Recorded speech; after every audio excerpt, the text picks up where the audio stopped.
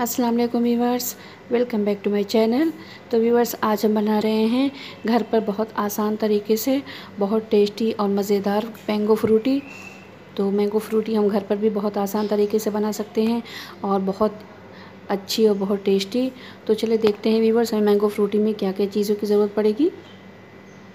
तो यहाँ देखें हम ले लिए हैं आम, यानी ये हमारे पके हुए आम हैं तो ये हम दो आम ले लिए हैं और एक आम लेंगे हम कच्चे। तो ये कच्चे आम जो है ना, ये खट्टे नहीं हैं, ये मीठे ही हैं। तो अब अगर ज़्यादा खट्टे आम हो तो उसमें हमें आधा यूज़ करना है। तो ये तीनों आम मिला के हमारे आधा किलो आम हो गए हैं तो इसे हम छील लेंगे।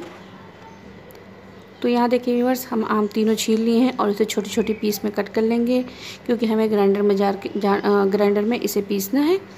तो अब मिक्सर के जार में हम डाल के इसको पीस लेंगे। तो यहाँ देखिए हम छोटे छोटे पीस में कट कर लिए हैं। अब इसका हम पेस्ट बना लेंगे और दोनों का अलग अलग पेस्ट बनाएँगे। तो यहाँ देखिए हम एक बड़े से मुँह वाला बर्तन ले लेंगे, यानी चौड़ी मुँह वाला। कोई गहरी सी कढ़ाई या कोई बर्तन ले लें। तो हमारे पास एक कढ़ाई है, उसमें हम डाल देंगे पके हुए आम की प्यूरी, जो हम एकदम बारीक सा पेस्ट एकदम बना लिए हैं मिक्सर में डाल के। और फिर उसके बाद हम डालेंगे कच्चे आम की प्यूरी। ये दोनों हमें एक में मिक्स करना है लेकिन पीसना एकदम अलग अलग है क्योंकि कभी कभी कच्चे आम की प्यूरी खट्टी रहती है तो हमें थोड़ा सा कम अप, कम कर लेंगे नहीं तो हमारी मैंगो फ्रूटी बहुत ज़्यादा खट्टी हो जाएगी। तो वैसे मैंगो फ्रूटी खट्टी मीठी रहती है तो बहुत ज़्यादा अच्छी लगती है। तो इसमें हम मिक्सर के जार में जो पानी लगा था ना उसमें थोड़ा सा खंगाल के इसमें हम डाल देंगे और गैस का फ्लेम ऑन कर देंगे क्योंकि मैंगो फ्रूटी को हमें पकाना है। और इसे चलाते हुए अच्छे से मिला दें, क्योंकि कच्चे पक्के अलग अलग रहेगी ना तो अच्छे फ्लेवर नहीं आएँगे। तो यहाँ देखिए, एक मिनट हो गए हैं और हल्की हल्की हमारी मैंगो फ्रूटी पक रही है। अब ये बहुत ज़्यादा ठीक है, यानी बहुत ज़्यादा गाढ़ी है। अब हम इसमें मिलाएँगे पानी। तो अभी शुरू में हम इसमें एक कप पानी भर कर मिलाएँगे। फिर बाद में इसकी थिकनेस देख के हम इसको और पानी मिलाएँगे। तो अभी हम एक कप भर के पानी ऐड कर देंगे और इसे गैस का फ्लेम हाई करके इसे लगातार हम पकाएँगे। हमें यहाँ पे बिल्कुल गैस लो नहीं करना है। अब इसमें हम डालेंगे आधा कप शक्कर। मीठा आप अपने हिसाब से कम ज़्यादा कर सकते हैं, वैसे मैंगो फ्रूटी मीठी ज़्यादा अच्छी लगती है। तो हम अभी आधा कप यूज़ कर रहे हैं, उसके बाद फिर आधा कप और यूज़ करेंगे, क्योंकि हम आधे किलो आम में डेढ़ किलो मैंगो फ्रूटी बनाकर रेडी कर देंगे इंशाल्लाह। ये बहुत ज़्यादा अच्छी मैंगो फ्रूटी बनेगी।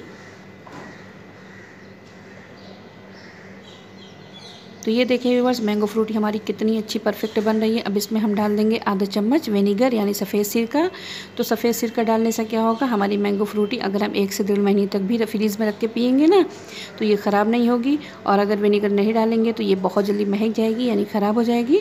तो इसे हम लगातार गैस के फ्लेम को हाई करके इसे लगातार हम चला चला के पकाएँगे। तो देख लें, इसका कलर चेंज हो रहा है, लेकिन बाद में बहुत अच्छे कलर हो जाएँगे।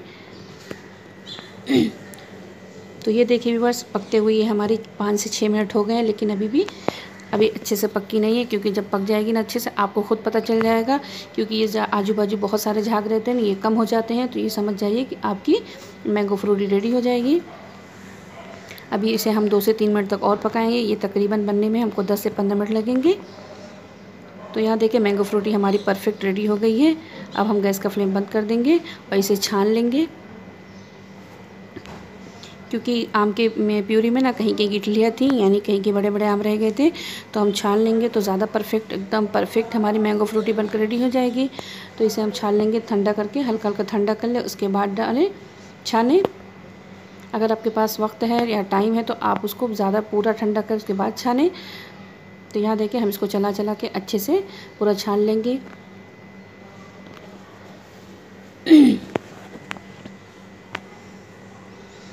तो आप देख सकते हैं वीवर्स ये कितने सारे इसमें देखें, कितने आम फिर भी इसे हम चम्मच से दबा दबा के सारी प्यूरी को निकाल लेंगे। अब इसको हम निकाल देंगे साइड में और फिर बाकी बचे हुए जो प्यूरी है ना, मैं यानी मैंगो फ्रूटी उसको भी छान लेंगे। क्योंकि ये सब गाढ़ी चीज़ होती है तो झन्नी में पीछे से बहुत ज़्यादा लगी रह जाती है तो हमें चम्मच की मदद से पीछे वाला हिस्सा पीछे भी से निकाल लेना चाहिए, जो फिर रोटी हम फंसी इसमें फंसी रहती है। तो ये आप थिकनेस देख सकते हैं। दिखने में माशाल्लाह बहुत ज़्यादा अच्छी है और टेस्ट भी इसका बहुत ज़्यादा अच्छा है। तो अभी भी बहुत ज़्यादा गाढ़ी है। अब इसको हम कर देंगे थोड़ा सा ठंडा। जब एकदम ठंडी हो जाएगी, उसके बाद फिर हम इसमें और पानी डालेंगे। तो एक गिलास भर का हम इसमें कर रहे हैं पानी। पानी ऐड करेंगे।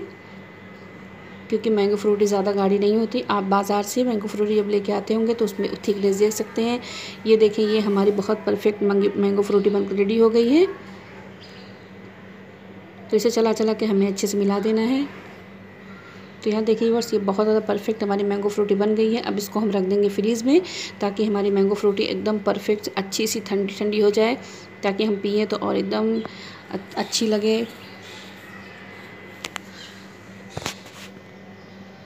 फ्रीज़ में हम आधे से एक घंटे के लिए रख देंगे, उसके बाद फिर आपको दिखाएँगे। तो यहाँ देखिए बस मैंगो फ्रूटी हमारी एकदम परफेक्ट ठंडी हो गई है। हम इसको सर्व कर रहे हैं गिलास में। आप देख सकते हैं इसकी कितनी परफेक्ट हमारी मैंगो फ्रूटी बनकर रेडी हो। कलर भी एकदम वही हुआ, एकदम परफेक्ट।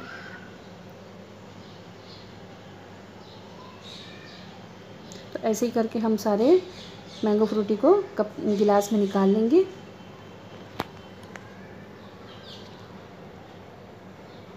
तो ये देखिए व्यूवर्स कितनी परफेक्ट हमारी मैंगो फ्रूटी रेडी हो गई है। रमज़ान नज़दीक आ रहे हैं, अभी से आप बना लेंगे तो फिर फ्रीज़ में रख देंगे तो रमज़ान में आपको आसानी रहेगी। और ये हमारे आधे किलो आम में डेढ़ लीटर मैंगो फ्रूटी बनकर रेडी हो गई है और माशाल्लाह से बहुत ज़्यादा टेस्टी हुई है। तो वीवर्स अगर हमारे स्टाइल से, यानी अगर हमारे तरीके से आप मैंगो फ्रूटी बनाएँगे तो बहुत ज़्यादा अच्छी बनेगी और ख़राब भी नहीं होगी। तो उम्मीद है वीवर्स आपको हमारी रेसिपी अच्छी लगी होगी। अगर हमारी रेसिपी आपको पसंद आती है तो हमारी वीडियो को लाइक और चैनल को शेयर और सब्सक्राइब करें। थैंक यू अल्लाह हाफिज़।